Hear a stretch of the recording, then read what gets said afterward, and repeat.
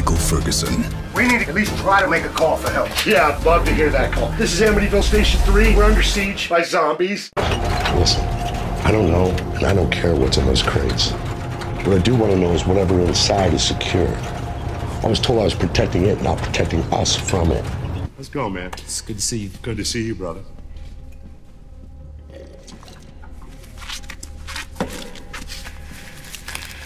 This is the place. Yeah. It's been detailed. There's one security officer and he's old as fuck. That good enough for you? That depends. On fucking what? Whether you decide to run off with my fucking money. You think I'm fucking stupid? You ran for my fucking nephew. He's dead anyway. Motherfucker! The only reason why you're still alive is I need the fucking money. Fuck! Are we fucking clear? Yeah!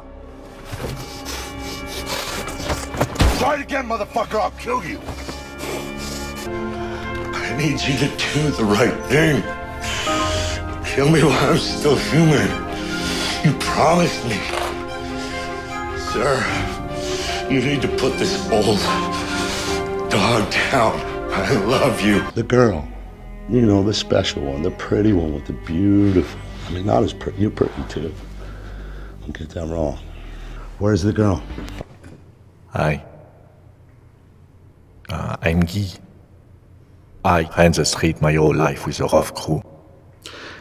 Well, yeah, it should concern us. You willingly surrendered yourself and confessed all this, for Christ's sake. Quite chilling, wasn't it? Creepy.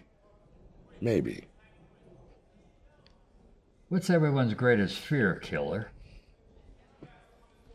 This point, I'm not really scared of shit, so I want to know.